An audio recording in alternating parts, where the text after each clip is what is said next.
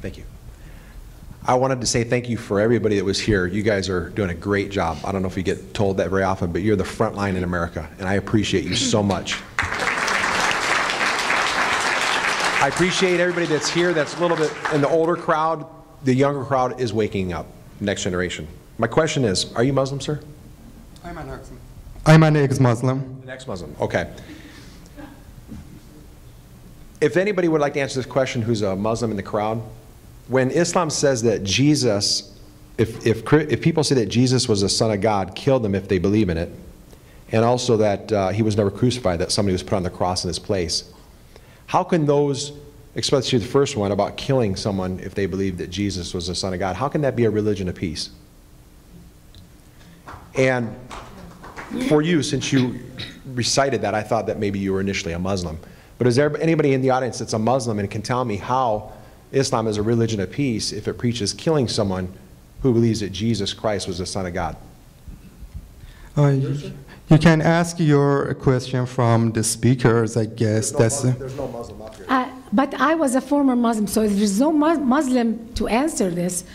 When I used to be a Muslim, I never, uh, the way we think about it, when I was a Muslim, I never thought calls on killing uh, non Muslim were evil. Actually, we always, you know, Islam really makes your mind think differently from logical Western thinking. We can incorporate two opposite ideas at the same time and feel perfectly comfortable with it. For instance, we used to learn that Islam is a religion of peace. And at the same time, we, we, we didn't feel any conflict when we would say, but go kill the, Jew, the Jews.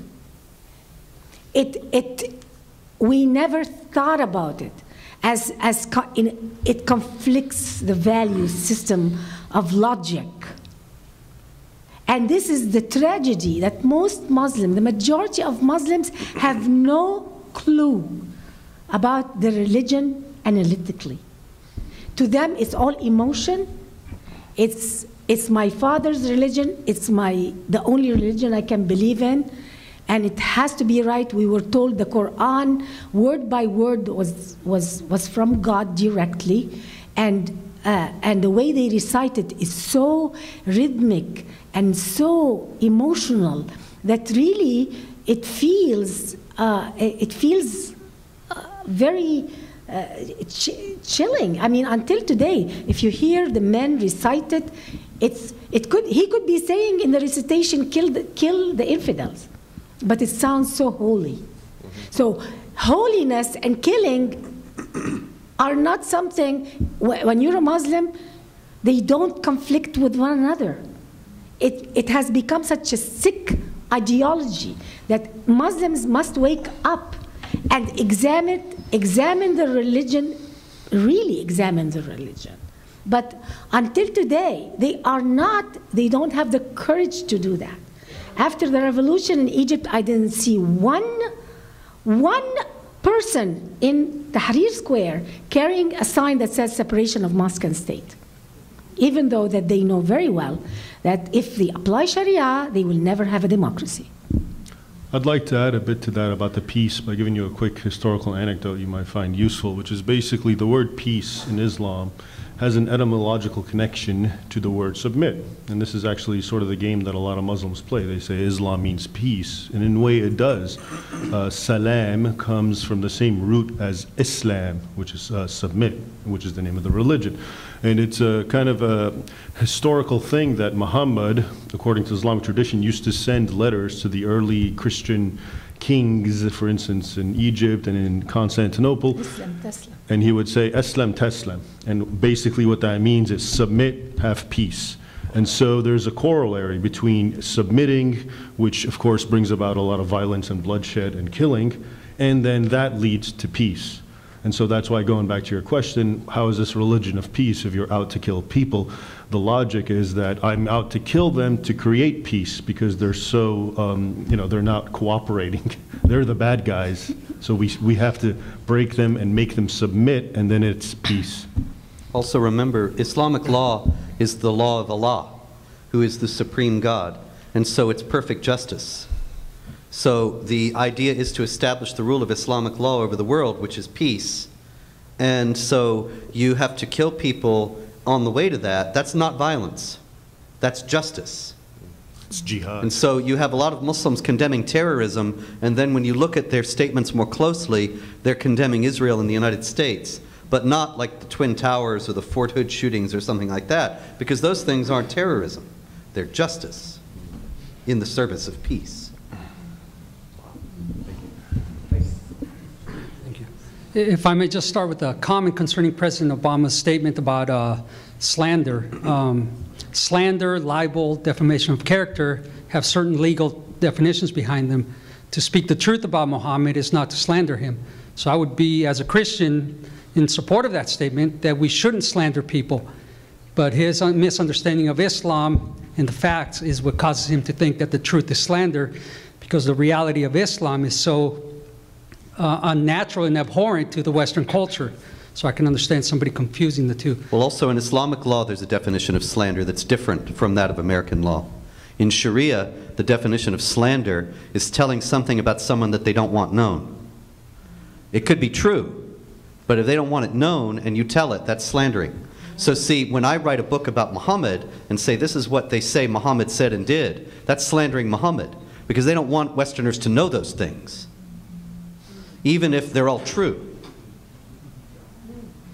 It's even more comical, just to add to that, and it's based on something you just said, Nonie, which is basically, like, as you do, I watch a lot of Arabic programs of these sheikhs and these Islamic clerks, and they'll say all the same things that if I say it, I'm a terrible human being. And the difference is they say it and they take pride in it.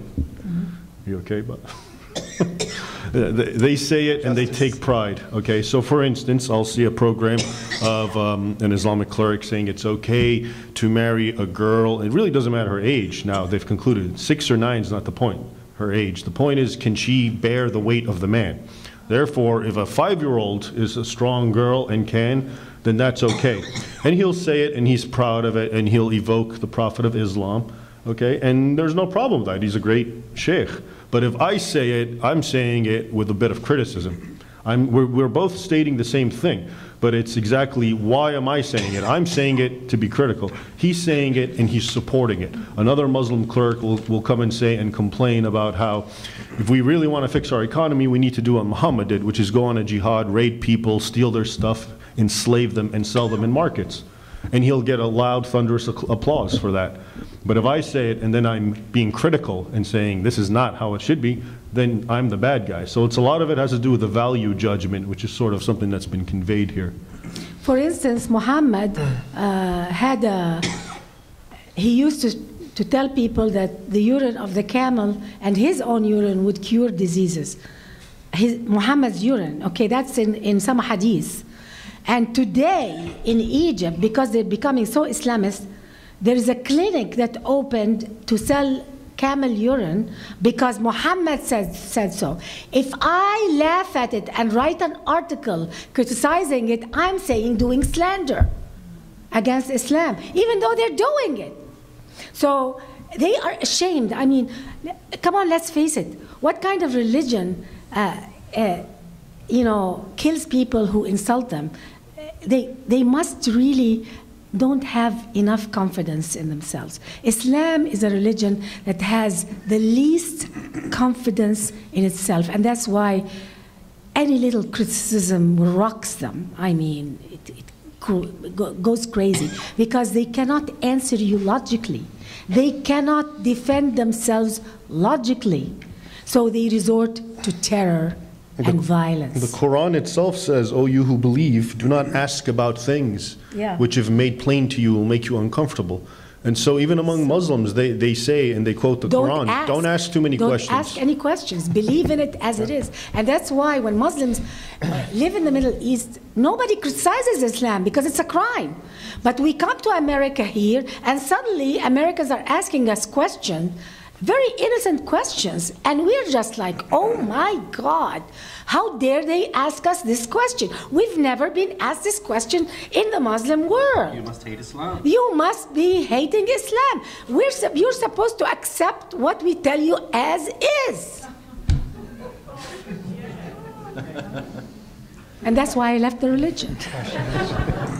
Um, Now, to follow that with the question, uh, for the layperson, seeing that there are so many sects within Islam themselves and different uh, divisions, how would you approach Muslims concerning the primary source materials, and how would you reference them so that they carry some weight?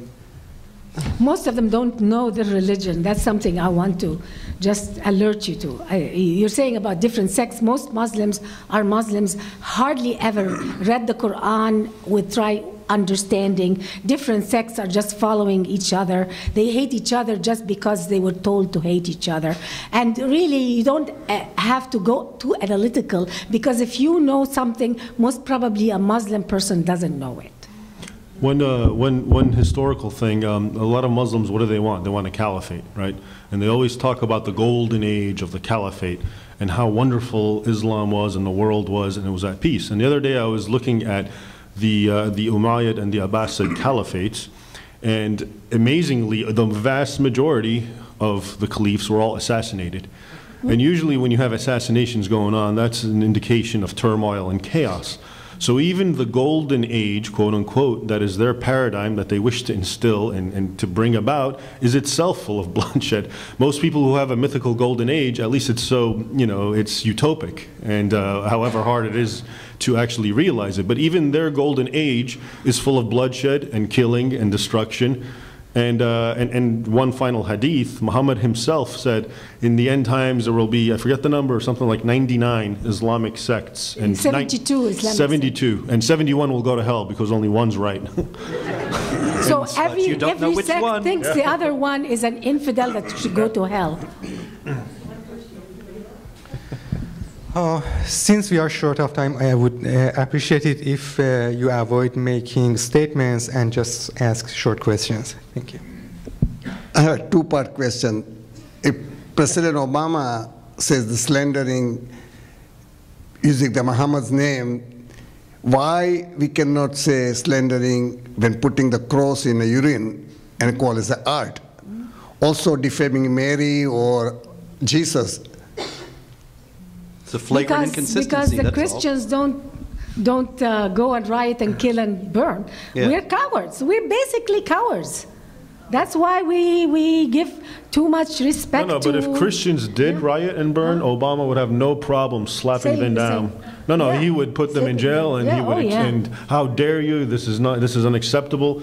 This is reserved for Muslims because Muslims, you know, well, we kind of have to treat get the them pass. nicely because they're so violent. That's the logical. But Christians know better, so if you're violent, you go to jail. Yeah, oh, yeah. We won't tolerate that. Okay, second part. If I say Jesus Christ is the only way to God, not Muhammad, is it a slandering or is it a hate crime? Don't say it in Pakistan, front of a Muslim. You go to jail in Pakistan for saying that. It could be lynched by a mob. This is how they victimize Christians in Talk Pakistan. about here, you know that. Well, it's getting to be that way here. This is the thing that we're talking about free speech tonight. And if we want to look at what that would look like, we can look at the section 295C of the laws of Pakistan and see how it's applied in Pakistani society. And I'm sure you're well aware that uh, Christians are routinely victimized by the blasphemy laws in Pakistan, and that's exactly the law that they want to bring to the United States. And it's exactly the case where a Muslim who wants uh, the land that a Christian owns, or his car, or something that he's got, he goes and he says, Do you believe Muhammad is a prophet? And the Christian says, I don't believe Muhammad is a prophet. He's accusing, he accuses him of blasphemy. The guy's arrested. If he's acquitted, then a mob kills him, and the Muslim can take whatever it is of his Property. property that he wants. This is the, the blasphemy laws in action. And so uh, that's what's coming. Don't be Watch a Christian in a Muslim years. world and own a diamond uh, store or jewelry store because you can be accused of blasphemy, shot, and, and robbed. Thank you. Um, The UN resolution that you mentioned in the beginning, was 1618 or That's right. 1816? Um, Is there any way that can be undone? What would, what would be the necessary steps, if there are any, um, to have that uh, commitment, you know, from the president withdrawn? Well, I guess the president could just withdraw it. I mean, we're not te- technically bound at this point. This is the showdown I was mentioning that has to come, whether we are going to hold ourselves bound to international laws that contradict the Constitution, or whether the const- and that have been agreed to by the United States government and thus constitute treaties, or whether the United States Constitution will trump them. And that has not yet been decided. But right now, it would seem clear that if we had a president who affirmed the freedom of speech and said that there would be no law that would infringe upon the freedom of speech, then that would be enough to do it. The problem is, we don't have a president like that. We're not going to have one for at least four years, and he could do a great deal of damage in the meantime. What policies would you like to see the Obama administration implement to improve freedom of speech here, or even foreign policy to bring more stabilization to the Middle East? Mass resignations. Um,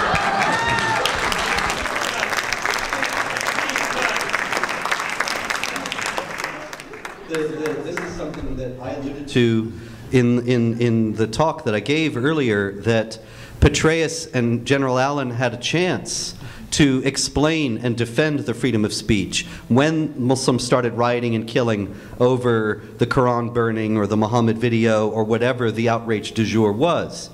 And they didn't. And this is what they ought to be doing. They ought to be explaining why the freedom of speech is so important and why even Afghanistan would benefit from having it, and even Pakistan, and even Egypt, and so on. Uh, they, they ought to be, I mean, we really ought to have been doing this for years. We instituted constitutions in Iraq and Afghanistan that affirmed Sharia as the highest law of the land. And that was all about, you know, we're all about the will of the people and democracy and so on.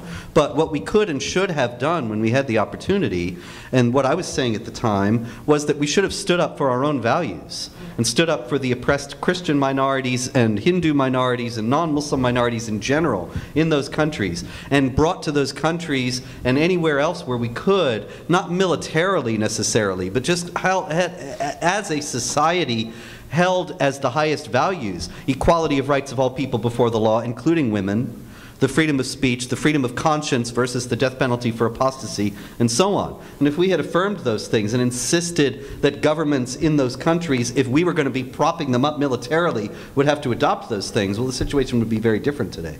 There is another thing that I'm noticing uh, in the last few years since Obama took office that our, our media and our educational system is making uh, any criticism of Islam almost a shameful thing. And we're feeling it. Uh, we are bringing up a whole generation of children in America who are uh, absorbing uh, and, and being shamed if they, if they criticize the ideology of Islam. And that's something very new to America. Intellectually and, paralyzed. And, and yeah, and, and that's very scary because before the laws in America could change, like what the UN is doing, trying to in- influence us, we're bringing up a whole generation of Americans that in 20 years they could accept a law that makes blasphemy of Islam uh, something because they're brought up on the idea that is, it is such a shame, that it's so bad. Uh, we are bringing up a new generation. We're, we're going to be gone. But we're going to live in America that, that, that is going to be a culture of pride and shame, which is typical. The Arab culture is a culture of pride and shame. That's how they get you by shaming you to death when you're a child and then putting you high up on a pedestal when, you're a child if you say, I hate Jews. And when you're a child and you're rewarded heavily if you hate Jews and you are uh, treated like a villain if, if, you, uh, uh, if you just say the slightest question about Islam, then we, we, you bring up a generation that will, will accept oppression. We're very close to this. People don't realize close. how close we We're are. very close because the Muhammad movie. we are not gonna be second. alive. We're the gonna be- Muhammad movie yeah. actually, there were calls in the Los Angeles Times and in the New York Daily News and in other major newspapers calls for restrictions on the freedom of speech to make it impossible for such a movie to be made. Yeah. And th- that's absolutely abominable that not only is it coming from the top, but coming from the mainstream media as well. And uh, there, th- I don't see how the freedom of speech is going to survive unless there is some major movement against this now. America has its first political prisoner. The man who did the movie Wake Up America, he's in jail now. He's in jail for a year for violating some something in his. We have our first political prisoner for blasphemy of Islam in America today.